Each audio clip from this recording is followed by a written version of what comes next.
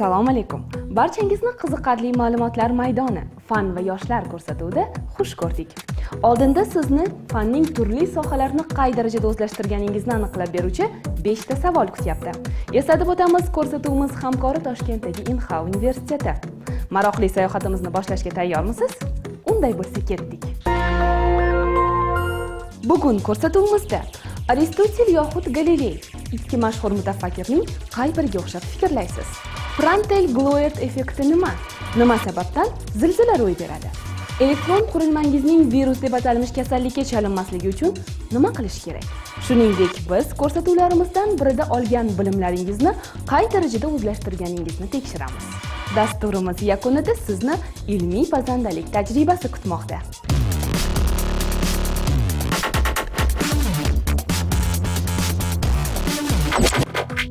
Dastlabki savolimizga aristotel galiley kabi buyuk olimlar javob topishga harakat qilishgan. Eng qizig'i ularning faqatgina bittasi bu vazifani eplay olgan. Sizchi buni uddalay olasizmi? Keling sinab ko'ramiz. Ko'z oldingizda ikkita koptok turibdi. Biri tennis boshqasi basketbol to'pi. Dastlabkisining vazni 60 gramm ikkinchisi esa 650 gramm tosh bosadi. Nima deb o'ylaysiz? Agar har ikkisi bir paytda bir xil balandlikdan yerga tashlansa qay biri manzilga oldinroq yetadi? A. Basketbol to'pi. B. Tennis koptokchasi s har ikkisi bir paytda yerga tushadi. Bir qarashda savolning javobi oddiydek. Basketbol to'pi og'irroq. Demak u birinchi bo'lib yerga tushadida dersiz. Agar shunday o'ylasangiz aristotelga o'xshab fikrlar ekansiz. Lekin afsuski adashasiz. Buni tajribada isbotlaymiz. Har ikki to'pni bir xil balandlikdan tashlaymiz va ular bir vaqtda yerga tushadi. Sekinlashtirilgan tasvirda bu yaqqol bilinadi. Xo'sh nega bunday bo'ldi? Bu savol o'z vaqtida galileyni ham o'ylantirgan. Italiyalik fizik olim og'ir va yengil buyumlarning bir paytda yerga tushishini aniqlagan. Taxminlarini tekshirish uchun u piza minorasidan og'irligi 80 kilogramm keladigan yadro hamda undan anchagina yengil bo'lgan 200 grammli o'q donalarini tashlagan. Har ikki buyum ham yerga bir paytda tushgan.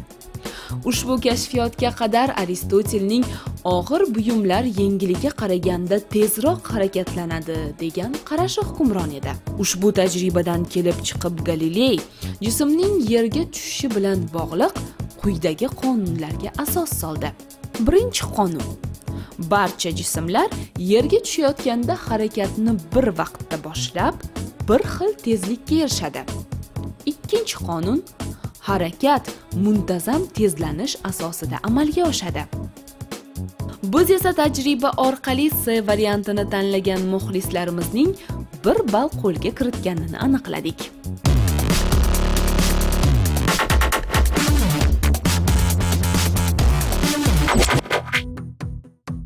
Fanda birgina nomi bilan kishini vahimaga soluvchi atamalar bor.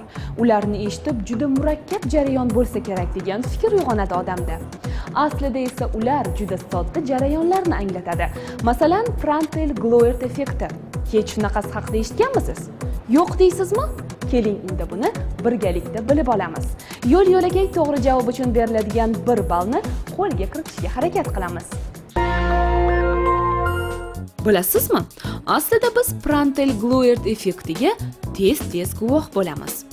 Buning uchun ko'zlarimizni osmonga qadab boshimiz uzra uchib o'tayotgan samolyotni kuzatish kifoya. Prantel gluert effekti bu tovush tezligiga yaqin tezlikda harakatlanayotgan jismning ortida bulutlarning paydo bo'lishidir.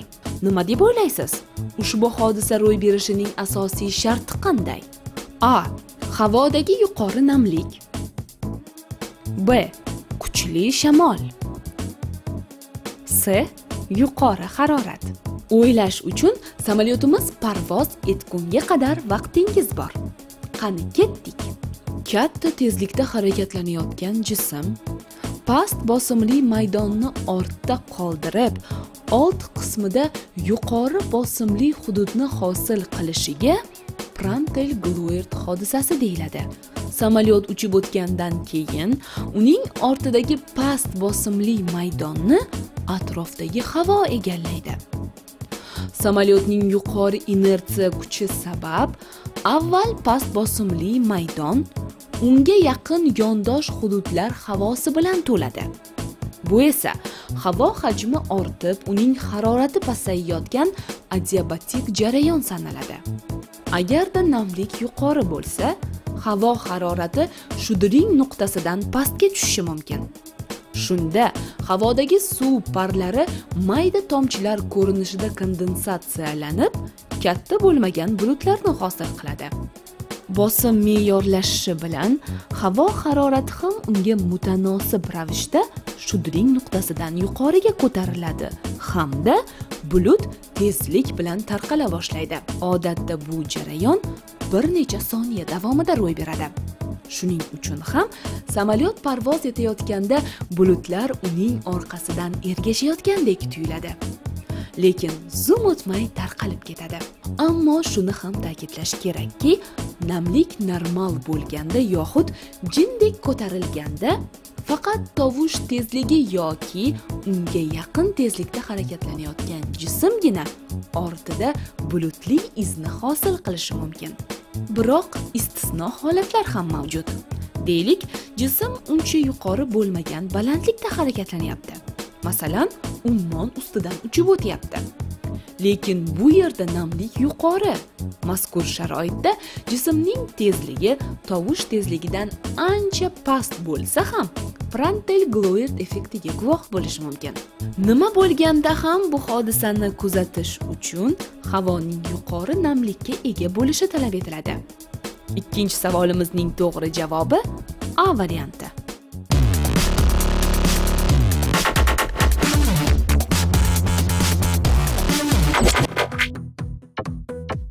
Zilzila asrlar osha qanchadan qancha sir sinoatlarni o'zida saqlab kelayotgan tabiiy hodisalardan biri.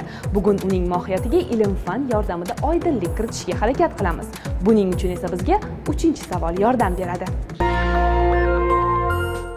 Nima sababdan zilzila ro'y beradi? A. Tsunami tufayli. B. Tektonik plitalarning harakati bois. C.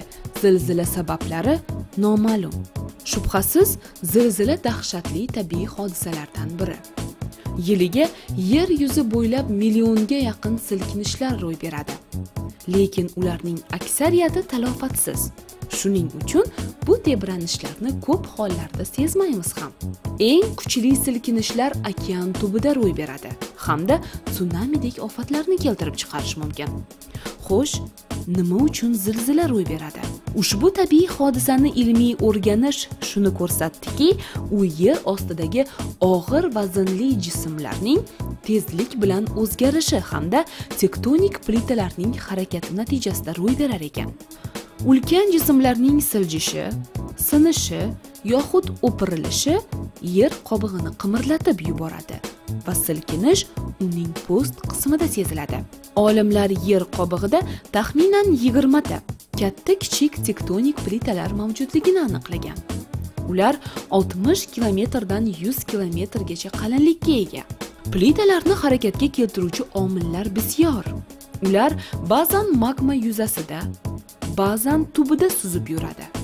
Ushbu ulkan jismlar to'qnashgan nuqtada yer qimirlashi sodir bo'ladi. Sayyoramiz qa'rida juda katta quvvatga ega energiya to'planadi. Aslida ular yer ustida ham bor. Lekin atrofga ajratilgan issiqlik hisobiga yer po'sti soviydi va uning maydoni qisqaradi. Natijada sayyoraning turli jismlari har xil bosim ta'sirida qoladi. Aynan shu ularning harakatiga sabab bo'ladi. Seysmik asboblar yordamida olimlar sayyoramiz holatini muntazam kuzatib boradi. Yerning biror burchagida zilzila ro'y bersa shu nuqtadan atrofga seysmik to'lqinlar tarqala boshlaydi. Ular seysmograf olimlarning o'rganish obyekti sanaladi. Biroq har doim ham navbatdagi silkinish joyi hamda vaqtini aniqlab bo'lmaydi. Aynan shuning uchun zilzila hozirga qadar tabiatning eng sirli hodisasi sanaladi. Savolimizning to'g'ri javobi esa b varianti. Zilzila tektonik plitalarning harakati natijasida sodir bo'ladi.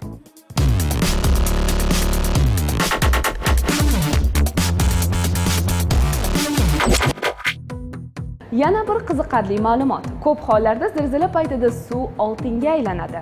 To'g'ri bu jarayon yer sathidan bir necha kilometr chuqurlikda. Suvning yuqori harorat ta'sirida parlanib uning tarkibidagi oltin mikrounsurlarining cho'kma hosil qilishi natijasida ro'y beradi. Ammo bu jarayon kishini hayratga solmay qo'ymaydi. Oldinda esa bizni to'rtinchi savol va yana bir qimmatli ball qo'lga kiritish imkoniyati kutmoqda. To'rtinchi savolimiz informatika faniga oid. Kompyuter noutbuk planshet telefon kabi elektron qurilmalardan foydalanuvchilar qadamda elektron viruslarga duch keladi. Hech o'ylab ko'rganmisiz ular qurilmaga qay tarzda tushib qoladi? A. Fleshkadagi ma'lumotlarni qattiq diskka ko'chirganda. B. Tekshirilmagan saytlardan foydalanganda. C. Barcha javoblar to'g'ri. Kompyuter virusi bu o'z o'zidan ko'payib tizimni ishdan chiqarish xususiyatiga ega hajman uncha katta bo'lmagan dastur. Dastlabki kompyuter virusining qachon paydo bo'lgani bilan bog'liq ko'plab qarashlar mavjud. Lekin aksariyat mutaxassislarning fikricha bugungiga o'xshash viruslar 1986 yilda paydo bo'lgan. Hozirda esa ularning 50 mingdan ortiq turi bor. Birinchi ko'rinishda virus virusga o'xshamaydi. Birinchi ko'rinishda u rasm bo'lishi mumkin yoki animatsiya bo'lishi mumkin. Uni ishlatayotgan odam bosganida e, virus avtomatik tarzda kompyuterga o'rnashadi va uni e, tizimini sekin sekin buzishni boshlaydi. Virus tizimga o'rnashganidan keyin o'rnashgan tizim u virusni o'zi aniqla olmaydi. Chunki virus o'zini fayllarni bekitish qobiliyati bor. Viruslar faqatgina dasturlar orqali yuqadi odatda ular faylga birikkan yoxud unga singan holatda bo'ladi. Bunday fayllar zararlangan hisoblanadi. Virus qurilmaga ana shunday fayllar orqali o'tadi. Uni faollashtirish uchun zararlangan faylni ishga tushirish kifoya. Shundan so'ng viruslar erkin faoliyat yurita boshlaydi. Exe hamda com kengaytmali ijrochi dasturlar viruslar tarqatish manbai sanaladi. Lekin so'nggi yillarda elektron pochta orqali tarqaluvchi viruslar ommalashgan. Kompyuter planshet yoxud telefoningizning virusga chalinganini qaysi belgilar orqali aniqlash mumkin? Erkin operativ xotira hajmi qisqara boshlaydi. Qurilma juda sekin ishlaydi. Fayllarda tushunarsiz o'zgarishlar ro'y beradi. Shuningdek so'nggi fayllarning hajmi va sanasi o'zgaradi. Ba'zi viruslar to'g'ridan to'g'ri kompyuterning operativ xotirasiga ta'sir etadi. Natijada yuklanadigan dastur va fayllarni zararlaydi. Boshqalari esa kompyuterga tushishi bilan yanada katta talafotlarga olib keladi. Buning oqibatida qattiq diskni formatlashga ham to'g'ri kelishi mumkin. Viruslar ta'sirida ekranda ishlashga xalaqit beruvchi turli xil vizual effektlar paydo bo'lishi mumkin. Shuningdek barcha ma'lumotlarning butkul yo'qolishi hech gap emas. Agarda qurilmangizda shunday nosozliklarni sezsangiz unda darhol xavfli dasturlarni aniqlab ularni bartaraf etuvchi antivirus dasturiga murojaat etishni maslahat beramiz. Tabobatda bo'lgani kabi elektron qurilmalarda ham kasalliklarni davolagandan uning oldini olgan afzal.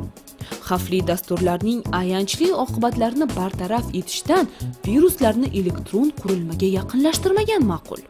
Buning uchun unga ulanayotgan fleshka hard kabi vositalarni antivirus dasturlari orqali yaxshilab tekshiring. Shuningdek tekshirilmagan saytlarga kirmang. Internetdan shubhali ma'lumotlarni ko'chirib olmang. Agarda siz c variantini tanlagan bo'lsangiz navbatdagi bir ballni qo'lga kiritdingiz. Chunki yuqoridagi barcha holatlarda elektron qurilmaga virus tushishi mumkin.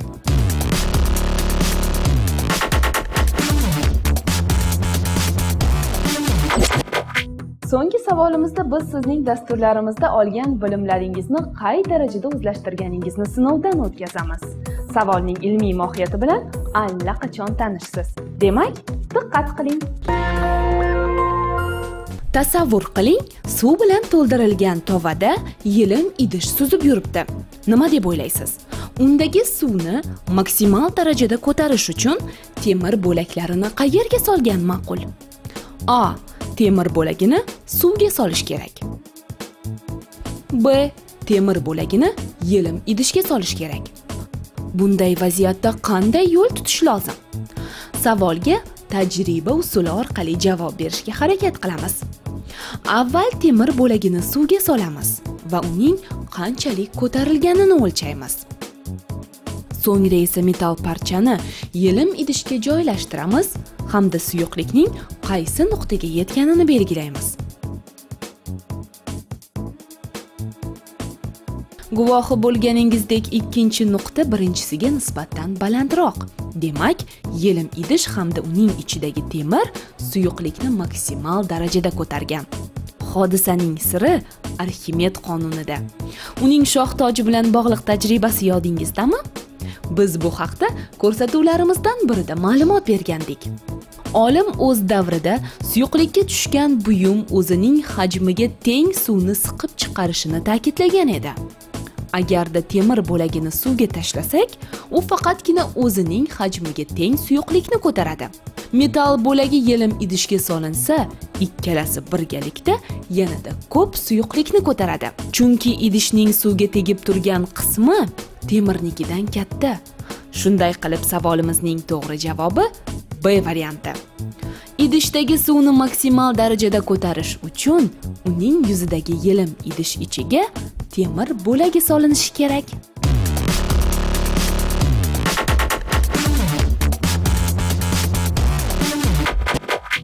Bu so'nggi savol edi. Demak natijalarni sarhisob qilish fursati yetdi. Barcha savollarga to'g'ri javob berib 5 ball qo'lga kirita oldingizmi?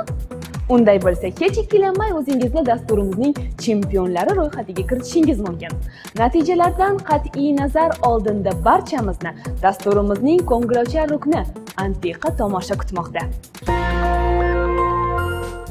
bugun biz sizlarga qanday qilib nonushta paytida yaqinlaringizni lol qoldirishingiz mumkinligini ko'rsatamiz odatda tuxum qaynatganimizda uning oqi sarig'ini tashqi tarafdan o'rab turadi. Diqqat qiling tajribamiz yakunida aks holatga guvoh bo'lasiz. Ilmiy pazandalik tajribamiz uchun bizga tuxum doka rangsiz skoch qaychi hamda kala va ip kerak bo'ladi. Dastavval skoch bilan tuxum yuzasini o'raymiz. So'ngra uni dokaga joylashtirib har ikki yonini mustahkamlaymiz. Bir necha daqiqa davomida doka bo'lagini tinimsiz aylantiramiz. Tuxumni undan chiqarib olib qaynagan suvga solamiz. E'tibor qiling tuxum yuzasidagi skochga teginganimiz yo'q. Endi ham skochni ham tuxum po'chog'ini artamiz. Ko'rib turganingizdek tuxum sarig'i uning oqini tashqi tarafdan o'rab turibdi. Qanday qilib bunday bo'ldi? Sizni ham shu savol o'ylantiryaptimi? Gap shundaki tuxum sarig'i uning oqiga qaraganda ancha zich. Uni tezlik bilan aylantirganimizda suyuq holatdagi tuxum sarig'i markazdan qochma kuch hisobiga uning chetiga intildi. Oqi esa aksincha markazga harakatlandi. Agarda tuxumni uzoq muddat aylantirsak u holda uning sariq hamda oq suyuqligi ajraladi. Qaynatilganda esa tuxum sarig'i oqini tashqi tarafdan o'rab turgan holatda bo'ladi.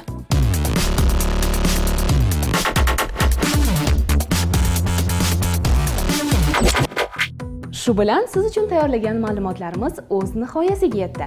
Keyingi dasturlarimizga qadar sizda ko'rsatuvimizdan olgan bilimlaringizni tajribada sinab ko'rish uchun bizda esa yangidan yangi qiziqarli savollar hozirlash uchun imkoniyat bo'ladi. Yana yoshlar telekanali orqali ko'rishguncha xayr salomat bo'ling!